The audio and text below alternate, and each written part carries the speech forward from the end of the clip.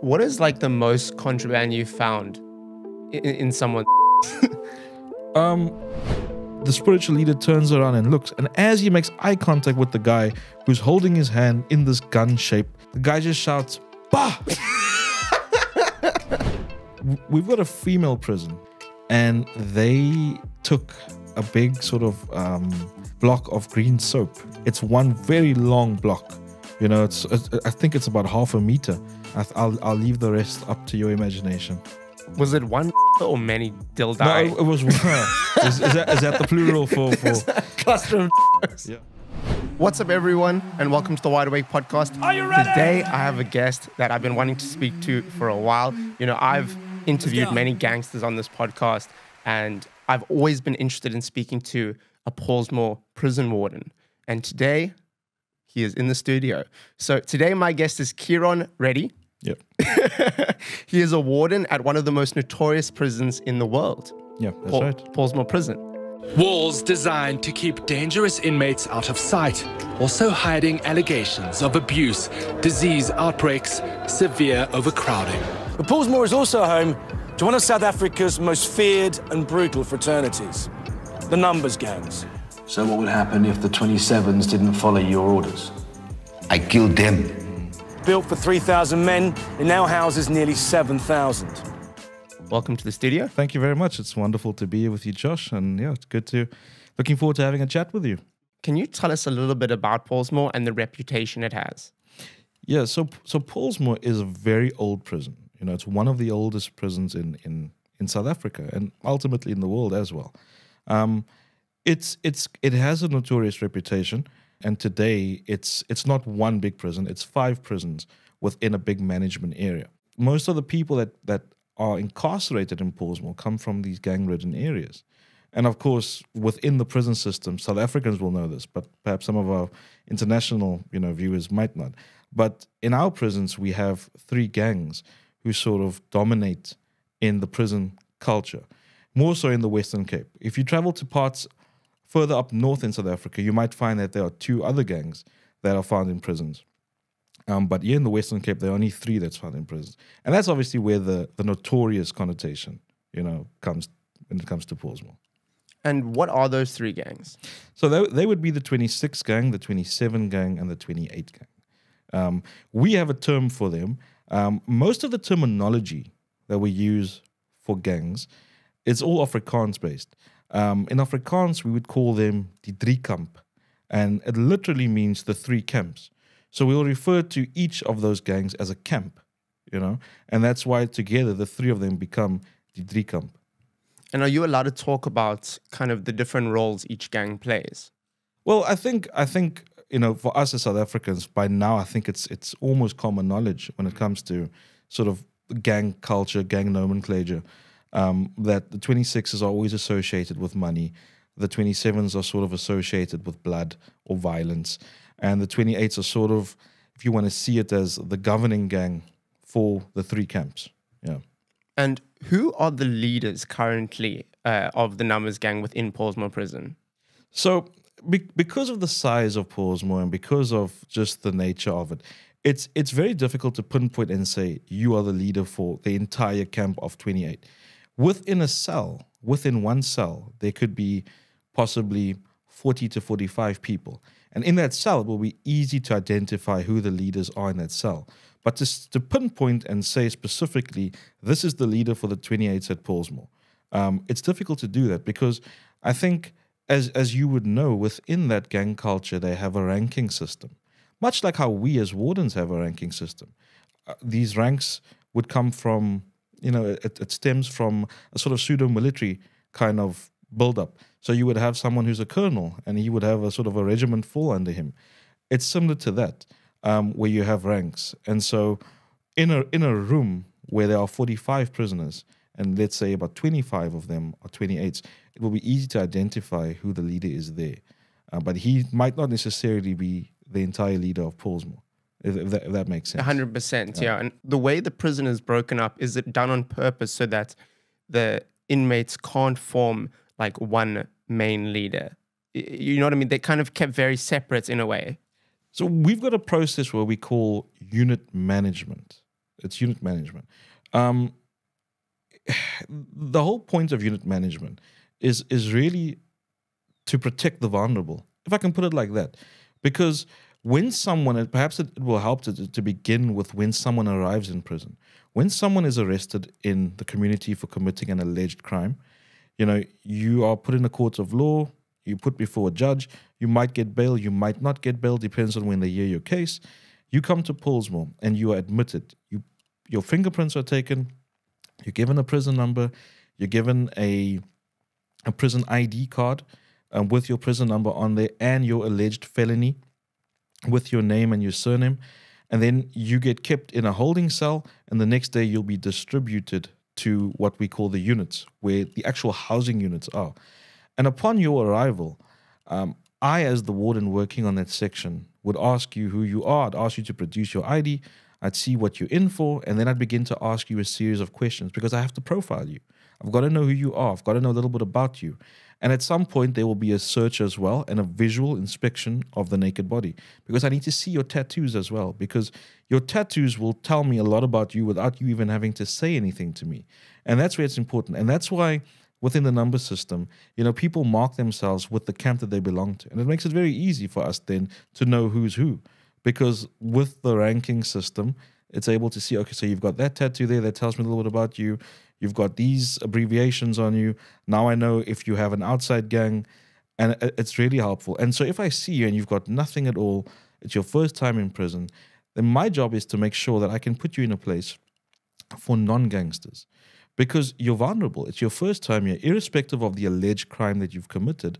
You know, I still have a duty to protect you to, to some extent and put you in a place where you're not going to be targeted, bullied, or victimized.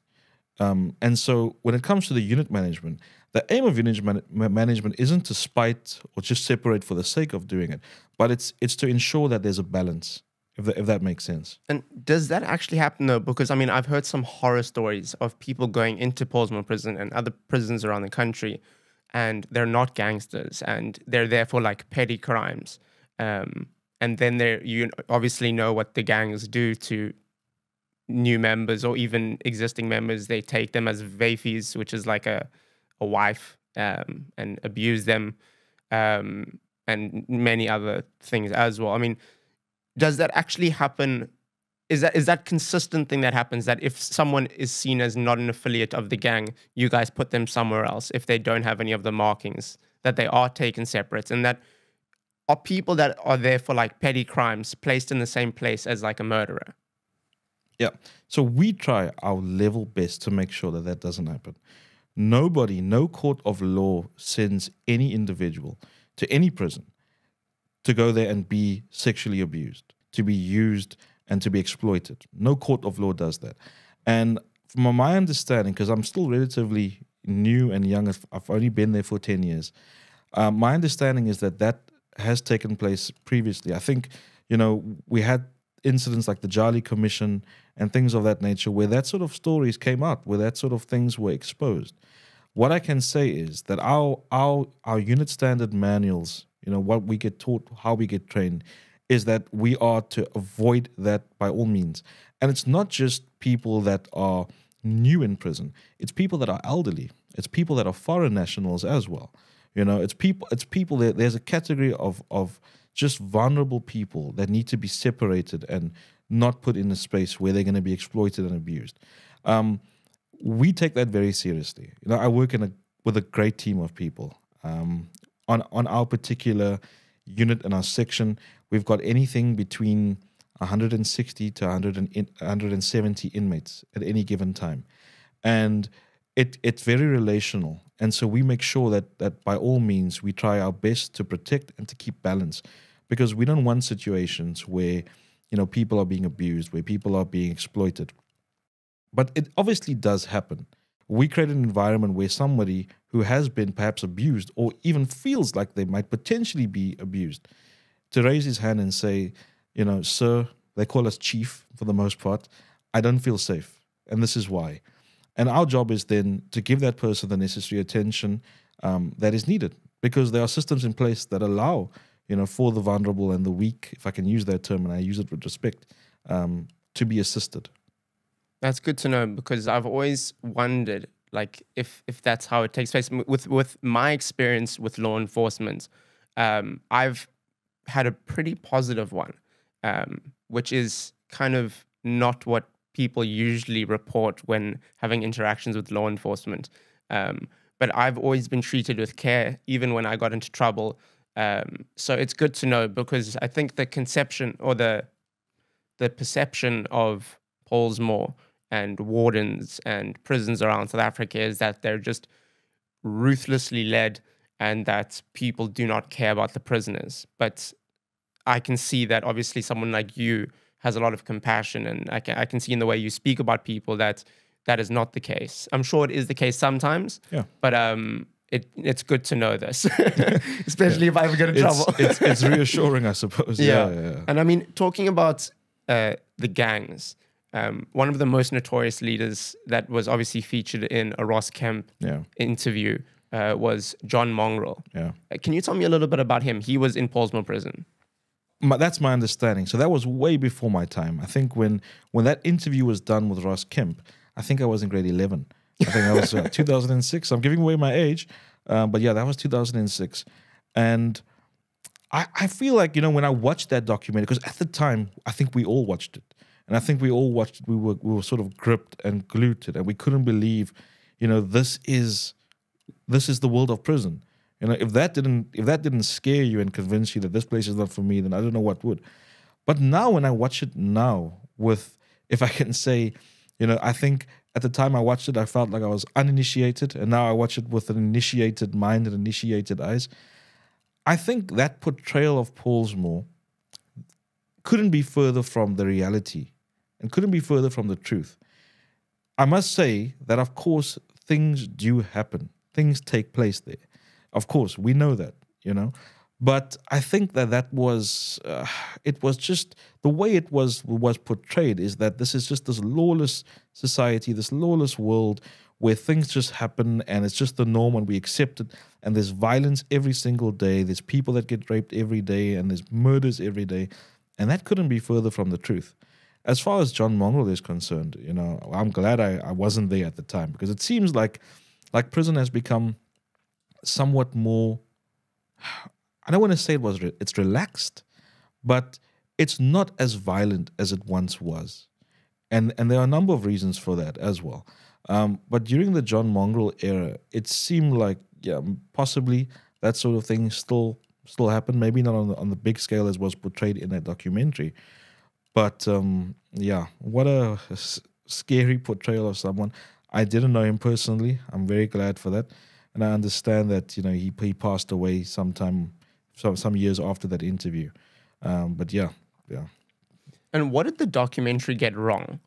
Because knowing like gang culture and that kind of stuff, there was quite a lot that I saw that I was like, this doesn't look like it's being over dramatized. A lot of a lot of the stuff. Um, what do you think it got wrong? I think just in particularly, if I can touch again on that interview with John Mongrel, where he just said that if people don't do what he wants them to do, that he kills them. I think I think that they got horribly, horribly wrong. And maybe he maybe why he said that I don't I don't know because my understanding is that within within the number gang, that one man can't just decide that we're going to kill you. You know, when it comes to a murder that takes place, um, which again is not normal. I have to I have to stress that, and doesn't just happen on a daily basis. There there have been there have been times you know where for for years you know no one was murdered by the gang. Nobody who's in the gang was murdered by the gang. You know. And so I felt like they got that wrong. Just this portrayal that if people don't do what he wants them to do, that he just kills them. That he just takes this this uh, this executive decision just to execute people as he wills. You know, I think that that was the again, again that's his own admission, but that isn't the reality. If if that makes sense. Yeah, no, it does. Um, and what are the conditions like inside of the prison? So the conditions at one point was not exactly what we would call your mother's house, um, and and that's a saying, by the way. You know, in in prison they always say, and I think I think um, it was it was said in one of these movies. Um, I think the movie's name was The Forgiven, where it was actually yeah it was it was filmed at Pollsmoor actually, And it was said that, and I'll say it in Afrikaans and I'll translate it for our international audience. Tronk is se huisie. Um, prison is not your mother's house because in your mother's house there's a certain way that things are done. There's a certain comfort. There's a certain level of enjoyment and relaxation that exists at your mother's house, but you won't find that in prison. And there was um, a sort of like a turning point where an organization took the department as a whole to court and won their case. Um, I think it was Sisonke Gender Justice. And, you know, the the conditions has improved for the better. But even prior to that, you know, us South Africans, you know, you you can't ignore that during the apartheid years, it was even much worse.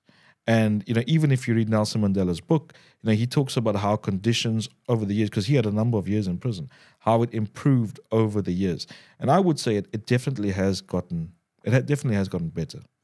And I read that Pollsmoor is meant to hold roughly 4,000 prisoners, I think. Is that correct? I think it, I think that original figure was a little bit less than that. I think it was a little bit less than that. Yeah. I read currently, I don't know when this was written, but currently, according to what I read, said there's 7,000 prisoners. I think that's an accurate number. I think I think I think that is an accurate number. So there's is is the prison way too overcrowded?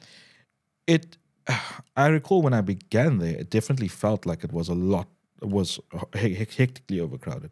It felt that way.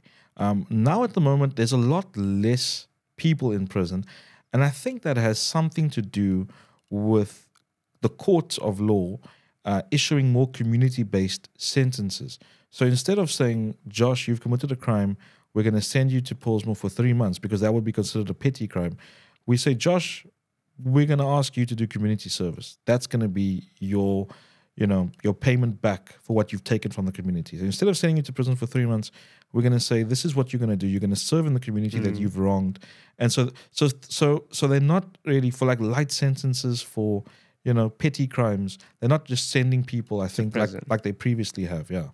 But you say there's still way too many people. It's still overcrowded. For for the number that it was built for, I think so. So if I can just give you an illustration of of how they get to that sort of number, it's built for this amount of people, but we have when you build a room and you say this room has a capacity for 20 people. This is an example that I'm giving you now. 20 people, and so there'll be 20 beds in that room. Single beds. Now we decide we're going to make them double bunks. So the the amount increases from 20 to 40. to 40. And that's how we say, well, this room is now overcrowded because it was built for 20, but we've now got 40. So that's how the, the overcrowded percentage goes up. It's like when you get in an elevator and it says this ele- elevator is for 11 people, but you're like, I know we can fit 12. yeah, yeah. But and I'm thinking now it's it's fit, fit for 12 people. That's maybe six of me. Okay. Yeah. like mm, 13 yeah. of me. That's the capacity. Yeah. so um, I'm sure during your time there, you've had some shocking experiences as well. Yeah. Um, has there, can you tell us a few stories of things that have really taken you back and uh, shocked you? There were, there were two incidents I think that stand out where where colleagues of mine were stabbed, and I remember both vividly. Um, the one happened not in my presence. I I had been asked to go and collect an inmate that was at an outside hospital. I went. It was a Sunday morning, and and just on a side note, whenever stabbings take place in in prison, it always tends to be on a Sunday. It always tends to be on a Sunday, and there's significance for that. Um, significance, I won't go into it uh, completely, but it is with, within the number. Um, Sunday tends to be the day when that sort of thing happens. And what happened was I was asked to go and collect an inmate at the hospital, which I did. And as I came back, I had to, so when he came back from the outside hospital, I had to take him to the internal hospital, our prison hospital, for his medication to be, you know, captured and, and distributed for him. And I was there for some time. And what had happened was the night before, an inmate, an elderly inmate, had passed away from natural causes. Um, he was a bit ill and he was being kept at the hospital section so he could be monitored. And he had passed away. And so the prison doctor was called because he has to declare him, you know, deceased. And there's a whole lot of paperwork that he has to fill out as the prison doctor.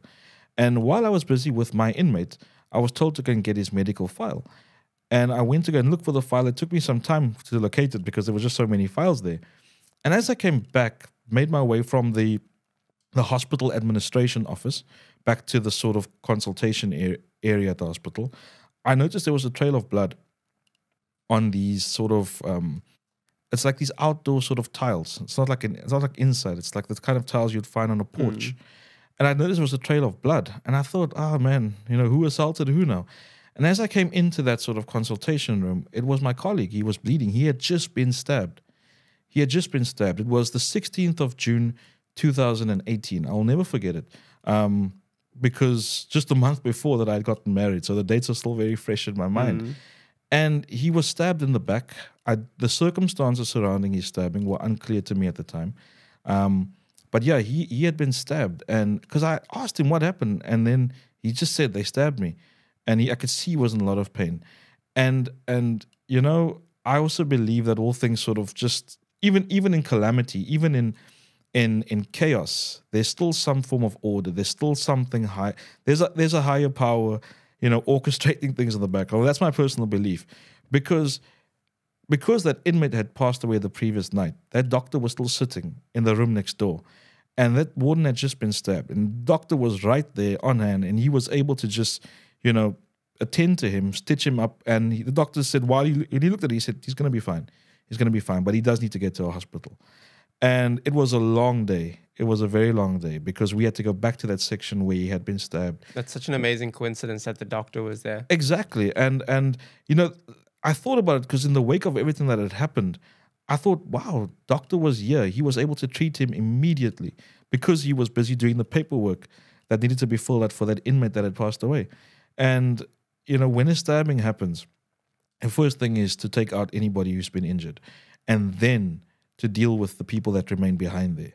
And you try and and then you search, you look for the weapons, you try and establish what has happened here, why has this happened, you know, and then and then and and you know it attracts a lot of attention as well. And then other role players, our task force comes, and other people come to visit, and you know it creates a, just a, a a massive hoo ha, as it were. But yeah, that was the one incident um, that stands out for me. And uh, yeah, the second incident that was a lot closer to home, um, and I don't really talk about this. You know, my my I, I didn't even share this one with my wife. Um, this one happened in in 2020, the 31st of May, 2020. Um, and this this this stabbing took place again on a Sunday. Um, the overall mood at the time, it didn't it wasn't cause for alarm. You know, it wasn't as if there was this just this hectic tension that we all felt, and everybody said, "Hey, did you notice that? Did you notice this?" It was nothing around around that. Um, what had happened was uh, an inmate that, yeah, for the most part, he was a he was a decent-ish kind of guy. Well, when I say decent, I mean uh, on our obs- observation. We always say on no- a human level. Yeah, Like no- obviously they've done some bad stuff. Exactly. But and we we always we always say we always remind each other as as colleagues, you know, nobody's here, nobody here was arrested while they were in church. Nobody here got arrested for, for picking flowers, you know. That that's what we say to each other. And and what had happened there was this this inmate was what he, he was sort of manipulated by by someone within his gang in his camp. I won't say which one. Um, they sort of manipulated him to say, "Are you willing to do this? No. Okay, then do this. Show us. Show us your worth. Show us who you are. You know, if you if you if you if you are who you say you are, then prove it to us." And a weapon was given to him. A sharpened object was given to him, and when when the cell was was unlocked, um, it was unlocked. He came out, and he, he was carrying something in his hand. You know, like it looked like a box of some sort. And we're, we're like, "What's this?" And he put it down, and he just he just went for a senior a senior warden who was standing there, and he, he caught him with the sharpened object. I think on two spots, both was on his arm, if I'm not mistaken. Um, and he actually caught that vein that sort of runs on your bicep. He, he, he caught him right on that vein, and yeah, we we managed to use the necessary force that that we had to had, had to use um, to get the weapon from him as well, and to get our colleague out of there. And you know, I'm not going to sit here and and and tell the viewers that in that moment I was tough and I was big and I was the guy who did this because if I'm completely honest with you and the viewers, Josh, you know, I felt like a deer caught in headlights when that happened. I really did. A part of me froze in that moment, really. And the the best that I could do was take out my two way radio and call for backup. That's the best that I could do in that moment because really it was my it was my first rodeo, as it were. You know, I, at that point in time, the violence that I'd seen in prison was inmate on inmate, and it was you know you'd arrive on the scene after it had taken place. This was the first time that I saw it happen right in front of me. And if I can just give you uh, just the proximity of where my colleague was stabbed, just a few paces in distance between you and uh, you and you and myself. That was the distance between me and my colleague. And there were other colleagues there present as well. Thank thank goodness for them because the way they reacted, you know, it obviously wasn't their first radio. You know, for most of my, my career, I've always sort of been the youngest guy there, the, the newest one there for most of my career. But that day I was thankful. I was very thankful and grateful that I was in the presence of people that had had some experience, that had been through this before. And, you know, they were able to do the necessary things. But yeah, and I told myself that if ever I was in a situation like that, that I would never flee from the danger or get frozen in that danger, but that I would go to that danger with with my faculties about me and that I would look and and look for look at people's because now ever since that happened, I'm always looking at people's hands to see is there something there, is it being concealed, you know. But yeah, that day I felt I felt pretty helpless. I'm not gonna lie, and um, my colleague is okay. That's um, amazing. We had a medic on on standby who was in the prison at the time, and he he treated him. Um, you know the work that he did. Even the doctors, when that colleague of mine was taken to hospital, said like, you know, that guy really saved you. You would have lost a lot of blood if he didn't do what he did. Um, so my colleague was okay. Um, the inmate was was uh, well, like I said, the necessary force was used on him, and um, yeah, he was removed. And yeah, what what followed in that though, because I think just to help people understand, when a stabbing happens in prison, it's not as if everything is just okay after that, because there's there's often a lot more tension after that stabbing took place, because it seemed as if I can't say this as fact, but it seemed as if the stabbing was not agreed upon by all three of the camps. Um, it's it it seemed as if one camp had acted on on their own, and the others were not consulted, and so there was a bit of tension, and a bit of anger, and as a result, a lot of balance had to be brought there. And to make it worse, this was in in in the height of sort of lockdown, 2020 May. We were still very very much in in lockdown, and as a result, to to prevent this to prevent the sort of spread of COVID and all that kind of things, we were you know, sort of split down the middle as far as staff is concerned. So half would be at, at work and the other half would not be at work just because of COVID protocols and to minimize that sort of spaces and have people mm. interacting with each other. So in the wake of that stabbing, it was hectic because we were we were, we were a lot fewer than we would have been had it not been lockdown and had it not been been COVID. And when it comes to say a prisoner does something like that, right? They act out violently, they murder someone, or they do something that's illegal within the prison. Um, especially when it comes to hurting other people. Yeah. Um, are they kept in general population or are they isolated away?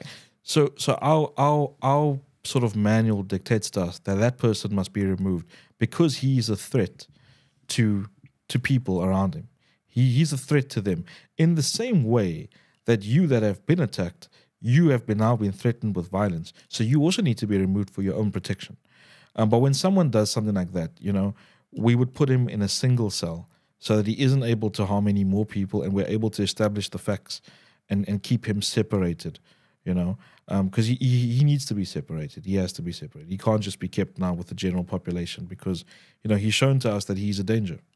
I know, like, obviously, being an ex addict, I always mention this on the podcast, but um, I know as addicts, right? And a lot of these gangsters are addicts. Yeah, that's right. Um, you must have seen some funny stuff as well while being there because because I know people with when they're especially in a different state of mind or even just people in prison. You know, I'm yeah. sure that people get in like get up to really weird things. Oh yeah. What is the funniest like story that you've you've experienced while working there?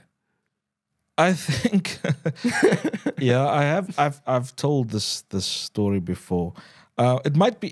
There's something I've realized that humor to us inside prison is not humor to people that have never been to prison. They find it disturbing. You know, they're like, "Wh- wh- "What? How? c- uh, then what happened?" I'm like, "No, you missed the joke. You know, you, you missed it." They're like, "No, but that's not funny." Um, Let's see if I find it funny. we we we had had a guy, and I've told the story with my friends so many times. We had a guy, uh, without mentioning names and giving specifics. He had obviously used drugs prior to coming to prison, and he was sort of in in a detox, as it were. And prison is a tough place to detox. It really is because you know you can't. Maybe it's a good place because you can't go anywhere, and you know you can't really. People will stop you from hurting yourself and everything. But he he he had been detoxing, and we had a spiritual worker um, come in and, and give a lesson. I won't say from which faith, but he, he was sitting there. And so we asked, you know, everybody who who's a, a member of this sort of faith, please come forward. And we know our people, so we know who's having us on and who's just trying to get out. And so, you know, we, we, we put them in a safe space where this religious leader was able to conduct his lesson. But at some point, this one guy who was sort of in the detox and, yeah, but uh, he was tripping. Well, not tripping like that. I'm not very good with the drug analogies. I but- know what you mean. yeah, but he, was, tweaking more. Yeah, he right was, and and he decided to get up, and I think he pretended to be moving his chair or something like that, and he went to go and stand behind this spiritual leader, and while while the spiritual leader was conducting his lesson, completely unaware of what's happening behind him, this guy went and stood behind him and turned his sort of hand into the shape of a gun, stand stand behind him, and the people in front of him obviously realize, hey, well, this guy's busy doing something here. And the spiritual leader turns around and looks. And as he makes eye contact with the guy who's holding his hand in this gun shape, the guy just shouts, Bah! and obviously, this guy was startled. Eh, ju- right there, the lesson end, just there. And he says, um, Wardens, I'm done. Thank you. And I'm like, oh, that was awfully quick. And he says, yeah, yeah, I've got, I've got my en- enga- engagements, and yeah, it's fine. And he goes, and I walk in, and I'm like, hey, something happened here. And I ask the other guys, well, what happened? And they said he he shot him. And I'm like, what do you mean he shot him? And I was like, I said to him, how could you do that? And he was like, I thought he was someone else. And I said, but even if you were someone else, you don't just go around shooting people, even With if your it is- fingers. with your fingers. and I'm not gonna lie to you, we didn't see that spiritual worker for a couple of months before he came back. Like, he, and he used to come on a weekly basis. He was traumatized. Do you have any other ones? I'm loving this. Well, not that I can think of right now, but we see funny things all the time. But again, I will say that, you know, what's funny to us might not be funny, Funny to everyone. Yeah, we, we get a lot of characters in there. And sometimes it's difficult to distinguish between who's actually a psych patient and who's actually just someone acting out because of, of you know, narcotics or whatever's in their system. And of course, we need to get both of them help because that's it's very important. Because you know, people that's that's that's sometimes unstable in that aspect, they can often you know destroy the balance that we are current that we work so hard to have within a prison uh, setup. Yeah. In terms of the gangs, do they have a lot of power in the prison? Because that's something that I think everyone has always said is that the numbers gang run the prison. Yeah, I think I I would I would put that in sort of that bracket of possibly that that's also a misconception. That's not to say that they don't have power. That's not to say that you know that because we every person has power. You you and I have power over our own faculties and over our own decisions that we make. But to the point where, because I think where you're getting at this is that that we take orders from them, and that That's not really what I mean, but I feel like maybe through fear. Oh, and okay, I think I'm with you. You now. know what I'm saying? I'm not saying they go like open that cell, that guy needs to get let out. I'm more of kind of like if you fight with us or push back on us, you will feel the wrath of what you know we, we will we will take action kind of thing. I almost feel, and with respect, I almost feel like it's the opposite. I almost feel like that's us to them uh, sometimes, because because again, their own their own code always reminds them of respect and discipline, because they themselves understand that for for us to be harmonious and for this to work, there's got to be that balance as well. Of course, they would would try their level best to make sure that you know things that's illegal get to them that you know I, my understanding is that prison was a very violent place during those years but just as just as from generation to generation, it almost seems that, and I say this loosely, it's almost as if you know your father's generation is that tough generation. We went to war, we did these things, and then your generation is like this sort of soft generation where we, you know, we're a little bit more in touch with other things. I think that's what has happened in prison. The way I see it is like a lot of the guards come from similar backgrounds Yeah, and true. similar areas. So, is there ever a like possibility, or have, has this ever happened where people have uh, disrespected the gangs or the leaders of the gangs, um, and then they have reported to their families or friends outside, and they've taken action against the families of the prison guards or the prison guards at their own home? Yeah, I've I've heard of stories. May, maybe not. May, maybe not so much in terms of um, you know threats or violence or that sort of thing. But I've heard a lot of stories of colleagues being approached to smuggle, um, to say, "Listen, you, you you live in our area. We, you know we know who you are, and you know who we are, and you know we could help each other out. You know we've got some brothers that's inside there, and don't you just want to take some toiletries to them? You know, don't you just want to because you know things are tough and yeah, we don't always get the chance to, to see him. So if you could take, you know, this toiletries to him, we'd we'd really appreciate it. Because nobody comes to you and says, you know, we'd like you to take about a kilogram of weed and we're gonna we're gonna throw in maybe a hundred tablets of Mandrax as well. Um, we'd really appreciate if you could help us. You know, no nobody approaches you like that. You know, th- there's got to be a hook first.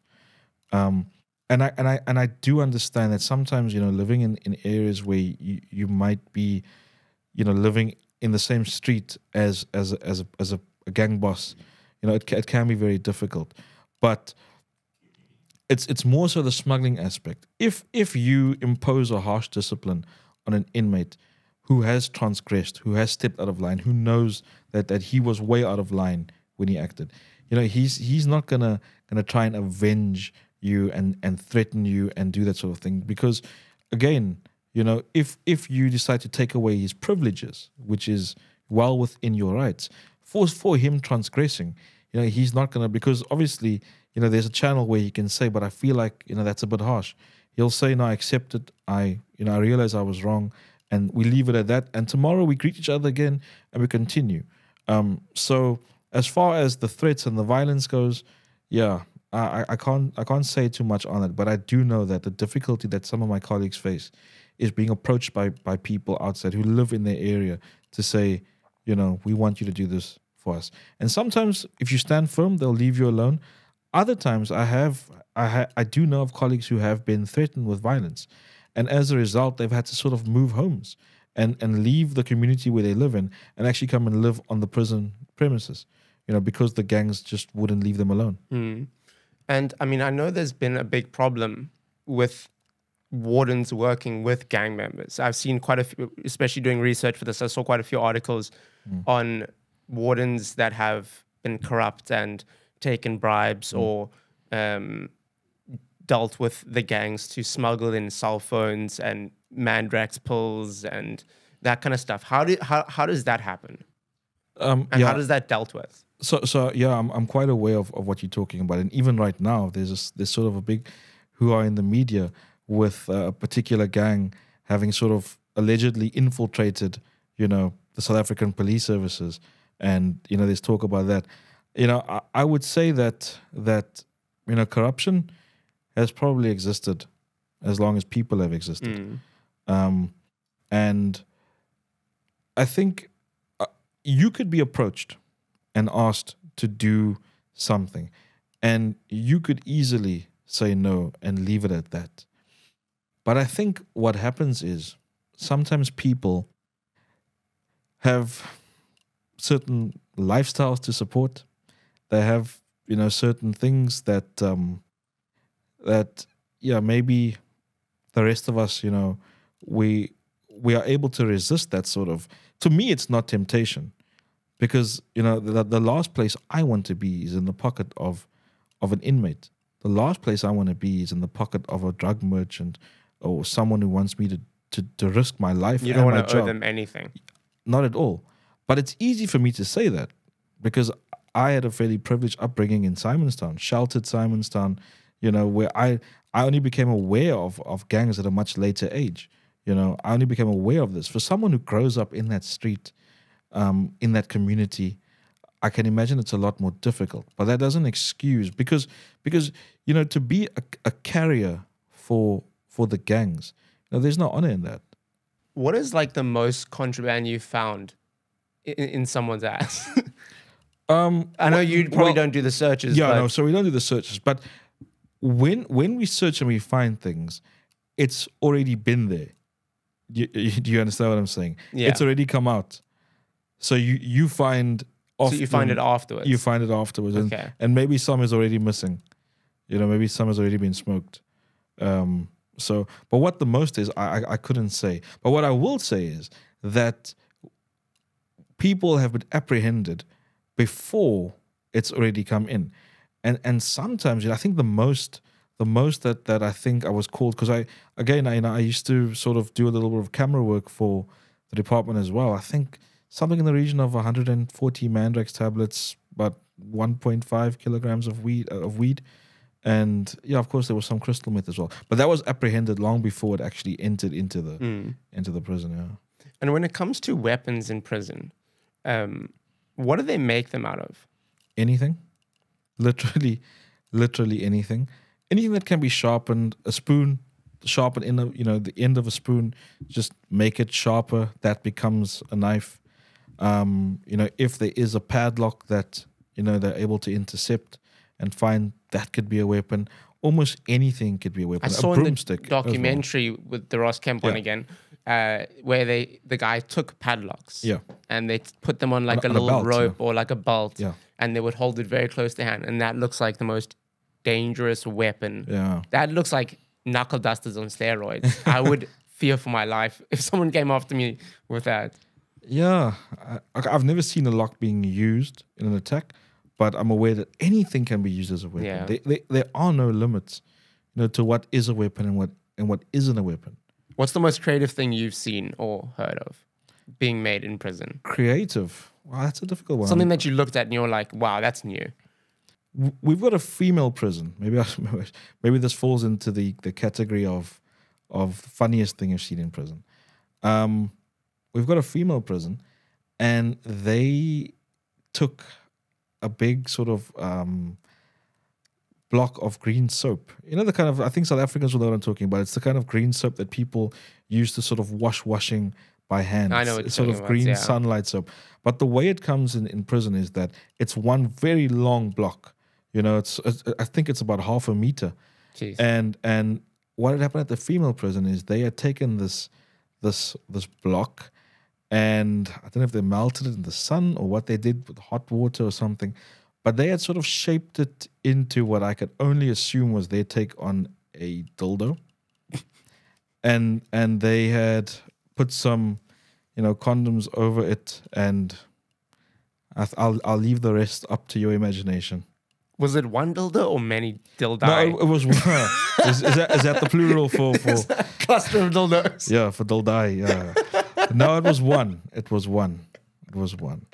And the thing is, That's a um, big one, eh? Yeah, so uh, that had happened when I worked in PR. Oh when I was working in the PR office, and I, I, I, I, I came to the female prison because they were having some event. They'd asked me to be there, and I stopped over at the investigations office uh, within the prison, and I greeted a colleague of mine who works there as investigator, and that was there, and I was like, "What's this?" And then he explained it to me, and I was like, "Wow, wow, wow, wow."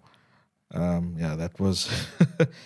yeah, is it for pain? Is it for pleasure? I don't That know. is interesting. Maybe both. And um, in terms of the, the women's prison, is which one do you think is more ruthless? Because I think it's no one really speaks about the women's prisons, but I, I'm pretty sure is it, I'm sure it's not sun, sunshine and roses as well. No, not at all. Um, which one do you think has the most incidents between the men and the women's prison? I would say it's the men. I think that's easy to say. Just and I think it's simply because the amount of male inmates at Pollsmoor far outweighs the amount of mm. female inmates at Pollsmoor. So in terms of incidents, there's always going to be more amongst the males. Yeah. But that's that's not to say that that things are all easy at the female prison because while the number gang doesn't exist at the female prison, there are females incarcerated that work for gangs that are they would see themselves as, ga- as gangsters. Um, the gangs that they would work for are sort of outside gangs, and you know I won't mention any names because I don't want anyone to think that I'm slandering of one course. particular gang. But but every the, the the reason the reason why I say every gang has females that works for it is because gangsters have girlfriends. You know, gangsters have girlfriends, and when you are the the girlfriend of a gangster, You are a gangster. you're an extension of the gang yourself. You know, often, often, you know, the woman will be the ones. I've I've heard some stories when I when I've engaged with some inmates and asking them, "Hey, your your other gang brother was here. How's he doing? You know, is he still alive?" We we say that loosely because a lot of the time the answer is, "No, he he was shot. He was killed. He passed away," and and and I asked him, "So what happened there?" And he says, "You won't believe it, sir, but." A girl actually lured him in and she was working for another gang, and that's how they killed him. You know, he fell for this girl. She got him to a place, and and you know, so there are female gangsters, but at, in particular, at the female prison, it's split into two between masculine and feminine, and so we call them. And I'll explain to the international guests. We call them uh, we call them broekies and skirtjies, which in Afrikaans means trousers, and the other one means a skirt. And so in, in a female prison, if you see someone you say, oh, she's a broekie, it means she leans more towards the masculine side. Okay. And the opposite, obviously, as well. Yeah. And yeah, there, there are incidents that take place there as well. And when it comes to like rehabilitation programs in Pollsmoor, um, I've seen videos online of some of the rehabilitation programs, and I know Turner Adams, who was also on my podcast, yeah. was in one of those programs. Yeah. Do you think that those um, programs really have a good effect on them, or do you think that it doesn't really make much of a difference? a lot of those programs is, is very effective and there are there's some footage of stuff that was done you know way back i think in the early 2000s with the most hardened criminals um, that were housed at the at the remand detention maximum at Pollsmoor but stay in the role of the victim. You, you you put my penis to inside of my vagina without my permission. And what I'm going to do now, I'm going to tell my parents what you did to me. Ah, come on, man. What are you making a big issue of it? You, you were waiting that I must be drunk so that you can force me to do this. Come on, Mavis. I didn't force you. You forced the issue and we just went to it. Mad as hatters with each other. We were so hyped up and spiked up that we went with the full aggression to each other. And you never cried. You never shouted. You did nothing. I did shout, and you hold me there by my throat, so I couldn't speak loud and shouting to for help. You will be arrested for this. But I'm telling you now, you call your parents and you'll see what happens to you and your parents. I think where where people get it horribly wrong is with that early childhood development phase, and and it, a, a child that doesn't grow up having that foundation, you know, will be raised by the gangs, will be raised by, you know, will ultimately. I don't like to say this, but it's the reality. You you you tend to become a product of society if nobody gives you that sort of foundation that's so mm. necessary. And coming to the rehabilitation, it's like you've got to now there's already a wall that's been built, but the foundations on which that wall's been built, it's crumbling and it's brought them there in the first place. And so you've really got to just go back all the way to the beginning. And that's something that I learned from from Mr. Malchus. You know, he used to he used to be responsible for the youngest prisoners or the youngest inmates.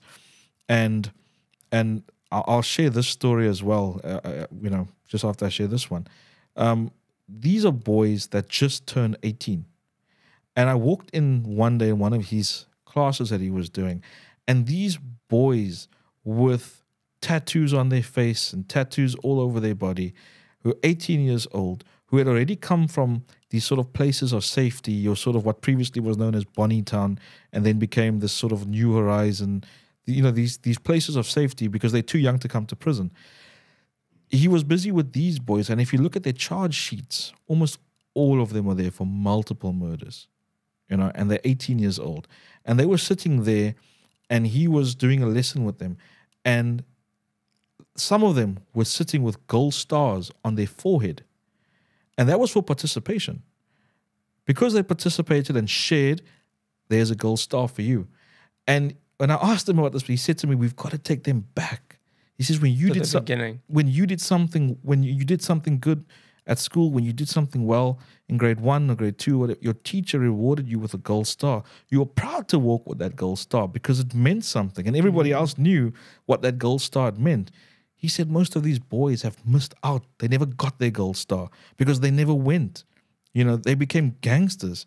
They, they, they were the ones carrying the drugs for the gang. So we've got to take them back and we've got to give them that gold star because we've got to get them on that on that journey. we've got to get them on that path. Yeah. And the story that I wanted to share, and this was probably I always wondered how you would go about rehabilitating people Yeah. that have gone down such a such a path like that. You know, you've got to go back Um, to the beginning. Which that is incredible way to go about it. It is. You just start from the foundation. You can't build on a bad foundation. You you can't. And the the story that I wanted to share, and it it it, it made me incredibly sad. Um, I was asked to to work late, and I was asked to be a part of the searching squad of the people that's returning from court. And so the last courts get in at about six in the evening, and those are sort of the furthest courts away. And the supervisor sort of came to me and said, "Well, everybody's in. We're just waiting for." And then he, I think it was like a, a court much fur further away, and the the police truck pulled up. Young guy gets out, only one inmate, and it was his 18th birthday on the day he came to prison.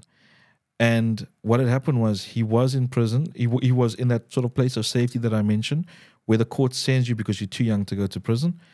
And he came from that place of safety because he had turned 18. He was now old enough to come to prison. And so he rocks up there on his 18th birthday, having slept the night before in a place of safety um, for, for people that commit crime. He gets there, now I've got to search him. And so I asked him to put his bags down. And now he has to get, you know, take his clothes off because I've got to visually inspect his naked body. Mm. And as I'm going through his things, there was a birthday card amongst his his his things that he had, and it was a birthday card from his mom to him, and it was in Afrikaans. And I, I obviously I, I read the card, and I just remember feeling just a profound sense of sadness come over me, because I thought back to my 18th birthday, and for most of us as South Africans, you know, you turn 18 as a as a you know maybe your dad takes you out for your first legal beer or you go out with your friends Mm. because there's this perception of well we're legal now. We've got you've got an ID document. You can do certain things at your 18th birthday. This kid on his 18th birthday came to prison and his mom had written him a birthday card and started off by saying you know my son I love you very much. I know that this is not where God has intended you to be but it is where you are I'm your mom I'll always love you I'll always support you I want you to be honest, to tell the truth so that your life can begin and that you can serve your time and then you and I can be mother and son together when you come out of prison. And I was just, I was just overcome with sadness. And I said to him, You understand what your mother's saying to you in this letter? And he said, Yes, Chief, I understand. And I said, I hope that you'll listen to your mother's words and that you will enjoy your life with your mother. And I told him, You have a lot of life left in you. Be honest, do what needs to be done, and then go and live your life with your mom. You know, not having to look over your shoulder, not having to be guilty, not, you know. And as he walked away, I just thought, I hope he understands. I hope he gets it. You know, I really, I never saw him again. Um, but yeah, that was just one of the the sad days because, you know, somebody once said that if if there, was an American sort of missionary talking to kids on the Cape Flats, and she asked him, you know, what will you become one day? What do you want to become? And he says his, his words to her was, I'll either become, you know, a Christian missionary or pastor, or I'll become a gangster. It depends who gets to me first. And this is the story that she told. And we've got a, a you know, they say it takes a village to raise a child. You know, we've got so much work that needs to be done. And it's not just the responsibility of one organization or one group of people. Because by the time you come to me, you know, we've already failed you. The community out there, the people around you that's supposed to care for you, supposed to love you, supposed to protect you, you know, you've already been failed. Mm. And now you come to me. And prison is a reflection of society. Nobody comes to pr- society is not a reflection of prison. You know, people get sent to prison because of things they did outside. So I often think like sometimes, yeah, sometimes outside is not that good either. You know, it's difficult out there, and if we don't begin at the beginning with the foundations and get the necessary role players involved, my doors are going to have to be open and my rooms are going to be full because Mm. more and more young people are going to be coming to prison. And that's the sad reality. Amazing. Well, thank you so much for coming down and chatting with me today. It's Thank been you. really cool to hear your experience. And uh, yeah, I'm sure everyone found this very, very interesting. Thank you so much, Josh, for having me. And I hope that, um, yeah, as people listen to this, that the perception will change somewhat of prison. Um, and then we will all be mindful that, you know, we all have a role to play as well Mm. to some extent. But thank you for having me. It's been, it's been great. It's a pleasure. And thank you all for watching. I never say this, but if you got to this the end of the podcast, like and subscribe. I never say that, but I'm going to start.